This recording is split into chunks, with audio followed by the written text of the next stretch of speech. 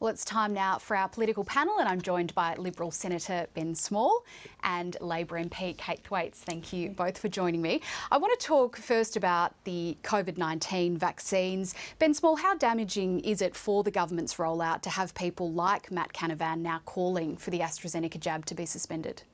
Well, the great thing is that the Morrison government's response uh, to the pandemic continues unabated. So we've got observer status on the European Medicines Agency. We're very focused on those reports out of Europe which suggest that uh, life's events continue throughout life. Uh, and those sorts of medical events we've seen in isolation aren't supported by causation or correlation with the vaccine program. So, in, in securing uh, sovereign vaccine manufacturing capability in August of last year. Prime Minister Morrison is leading a government that's protecting lives and livelihoods.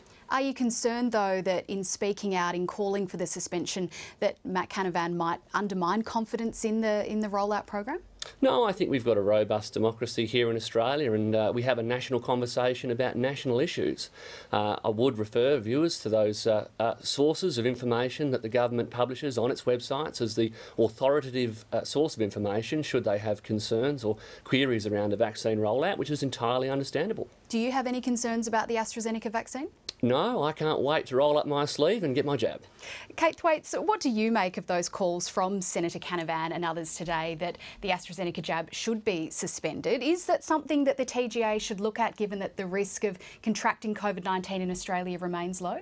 I have absolute faith in the TGA. They are experts and they do their job really well. But I am concerned that government members are undermining their work, their excellent work. You know, there is a vacuum of information when it comes to the vaccine rollout at the moment. I know this in my electorate. I have a number of people calling me, particularly older people, concerned about when they might be able to get their jab, where they can get it. So there's already a lack of information that the government's providing. Now we've got government members saying, don't get it really confusing. I'm actually very concerned about this, and I think it's something that the Prime Minister should address immediately. What is your assessment of, of the level of public confidence in the program at the moment? Like I said, I think the concern is that there's a big information gap. So, what I'm hearing from people in my electorate is they just don't know what's going on. And if we have an environment where people don't know what's going on, and we have government members essentially, you know, spreading misinformation and undermining the, the trusted people on this, uh, that is very concerning. Ben Small, we have had a statement from the Chief Medical Officer, but we haven't heard in person yet from the Prime Minister or the Health Minister. Should they be moving more quickly to uh, downplay these concerns today? Uh, both the Prime Minister and the Health Minister are currently very focused on uh, the COVID situation that's emerging in the region, particular challenges with respect uh, to our near neighbours in the north, uh, in the Pacific region. So I guess it's actually comforting, and it should be comforting for Australians, that they're very focused on I'd keeping Australians safe. Though. Because at the end of the day, 20,000 plus people are still dying from this disease every day. Uh, so we've done a superb job in keeping Australians safe so far, but we cannot get complacent. Uh, so I'm sure that in conjunction with the appropriate health authorities, uh, we'll see them uh, on the front foot uh, demonstrating to Australians that the vaccine is safe uh, and is in Australia's interests. Kate Thwaites, did you want to pick up on that? I really just hope they could do both. I mean, again, the Prime Minister, I know he's a busy man, but I really hope he could look after PNG because I agree that's very important, but also look after the interests of Australian people and, and make sure that the vaccine rollout here improves and improves quickly. And I think we've seen that from the government. We walk and chew gum at the same time on a number of important issues. So absolutely to be the case. And I will note that we will be discussing the situation in Papua New Guinea with our Foreign Affairs reporter Stephen Dziedzic shortly. But I want to turn to the rallies now, uh, which took place across the country yesterday. Ben Small, what did you make of the Prime Minister's comment that uh, marches not far from here are being met with bullets? Was that appropriate language to use? Well, look, I think it reflects the fact that we can have uh, uh disagreements in our Australian democracy about any issue uh, and that Australians do have a right to peacefully peacefully. Uh, I think on the, the broader issues, though, we've seen a very sensible response from the Prime Minister and, or indeed, the, the government down from there, because we haven't sought to politicise this issue, this very real issue that we face in, in basically the workplace that you and I share. We haven't said that others are better or worse than we have. We've instituted a number of inquiries, in, including a cross-party, cross-parliament inquiry to get to the root cause of these issues. And as the Minister for Women, Marise Payne, said, uh, we look to not only own the problems, but we look to own those solutions that the people in this building and indeed any workplace in Australia deserve. Kate Thwaites, Marise Payne has defended the Prime Minister's comment. She says that that is a relevant observation to make. Uh, has the criticism of the Prime Minister been too harsh here? No. The Prime Minister could just not be further from what is going on in this country. I was out at that march, and a lot of Labor figures, and I know some government figures were as well. The power, the anger, the feeling that people's voices are not being heard, that's what the Prime Minister is not acknowledging. And the same Prime Minister that opened his door. Are you going to talk over me on this? Are you really going to talk over me on this Prime issue? Prime Minister that invited those representatives. Ben, we're talking about respect for women in this workplace. Are you going to talk over me? In the land. I think we can have a respectful conversation. I will let you finish your answer, Kate Thwaites. Thanks, what did ben. you make of, of the Prime Minister's comment yesterday? So, you know, again, sorry, I've lost my train of thought a bit there because I got talked over. Um, the Prime Minister does not get it. He does not understand what is happening with women in this place and in this country. And to compare what happened yesterday to a fight for democracy, uh, to say that really essentially women were lucky that they weren't shot at for protesting, so far from what's going on here um, I really encourage him to rethink. I encourage all the government members to rethink that being an appropriate response because it's just not. And that was so clear from what happened yesterday. I really want to pay tribute to all those women who did march yesterday, who showed how brave they were. Brittany Higgins, uh, hearing her speech yesterday, what a brave young woman.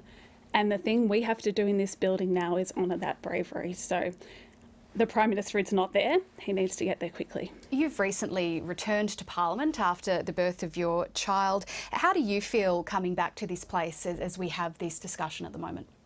It's a tough time to be coming back. Um, as you say, I've got a three month old, and that's wonderful. And it is really important to me that I'm here, uh, that women like me are here because you know, this debate needs to have our voice in it.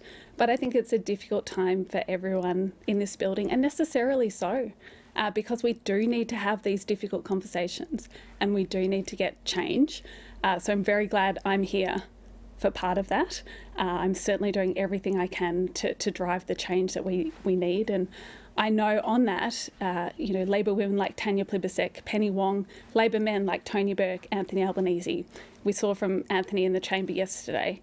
We want change. Uh, we really need the Prime Minister to get with the program. Ben Small, you're new to the Parliament, having filled the spot vacated by Mathias Cormann. You come from a, a, corporate background. What are your observations of the workplace culture here so far, and are there any changes that, that you see need to be made? Look, I think it's an interesting point because uh, my first observation is that this is an inherently different workplace to corporate Australia. Uh, so I think you know direct comparisons between the two are, are probably a long bow. However, the sorts of things that Australians expect in their workplace, whether that's in an office tower, on a on a high street in a CBD, or indeed on a farm or in a workshop in rural Australia, are the same things. They deserve to feel safe. They deserve to feel valued. And so I think that the uh, the, the, commitment from the government here is that we will listen. We will implement uh, the sorts of recommendations that emerge from those inquiries because we see that as the right thing to do. Do you think that this is a safe place, a safe workplace for women at the moment? I guess I, I, draw on the experience of my colleagues and uh, and my staff, uh, the staff of those around me, and overwhelmingly, their, their message is that whilst yes, their experience has been positive, we do nothing to take away from those uh, brave women who have come forward to share their stories, uh, and and I think the leadership of people like uh, Brittany Higgins and Grace Tame in this area is essential because it gives them the confidence to come forward. But I note that those people coming forward come forward from all parts of the building uh, political, non political uh, public servants uh, from all parties. So this is not a Liberal Party problem, this is a parliamentary problem and one that rightly we're determined to get to the bottom of. Kate Thwaites, what did you make of the reports yesterday about the private Facebook group for Labor staffers, allegations made in that group about male colleagues? Uh, have you witnessed or experienced any kind of behaviour like that? I haven't, but if I had, my message is it's not tolerated. And that is the message that is coming from Labor, again, from our senior women, Tanya Plibersek, Penny Wong, uh, like I said, from Tony Burke and Anthony Albanese. Um, it's not acceptable. It's not acceptable in this workplace. It's not acceptable in any workplace. And I think, again, that's part of the reason why this conversation in this place is so important because we should be leaders here. We are absolute laggards. There's a lot of work for us to be doing. Uh, and so, you know, we do need to move this away from the tactics of the day, from the way we often deal with politics in this place, and we need to get to real change. Is the Labor leadership doing enough to look into those claims that have been made? I note that many of them were anonymised, but is enough being done to actually investigate these allegations? So they are anonymous comments. Um, you know, if people want to bring forward uh, allegations and um, put more to that, I'm I'm open to hearing that. I know all of my colleagues have said they're open to hearing that. There are a number of processes. There's a Labor Party process, there's a process here at Parliament. We can't and we don't want to force people who don't want to put their name to something uh, to have to come forward. It is really important that we respect them um, and the way they want to deal with this. But is it acceptable behaviour? Of course not. Um, and you know, I want all these women to know, as a Labor female MP in this place, I see you, I hear you, I believe you, we've got to fix this. I want to touch briefly on the JobSeeker payment. Parliament will be debating this week the government's plan to raise the base rate of that payment by $25 a week. Ben Small, is that increase high enough given that hundreds of thousands of people are still receiving JobSeeker? Yeah, look, Jade, I think that this is important to remember. Uh, this is the single largest increase in the rate of what is now called the JobSeeker payment since 1986. So this government is recognising calls in the Australian community for that to be increased. But I think it's also very important to remember that this is uh, a, a, safety net for Australians who find themselves on hard times. It is not an income. Uh, that, that, that commitment by the Morrison government represents $9 billion of money that needs to be borrowed over the forward estimates now. That's the next four years, uh, and will actually have to be paid back by uh, you know future Australians. So I think it is an appropriate increase, uh, but it's measured and it's targeted at those who need it most. Uh, so I totally support the increase. Kate Thwaites, will Labor be supporting that legislation and will the opposition be trying to move any amendments?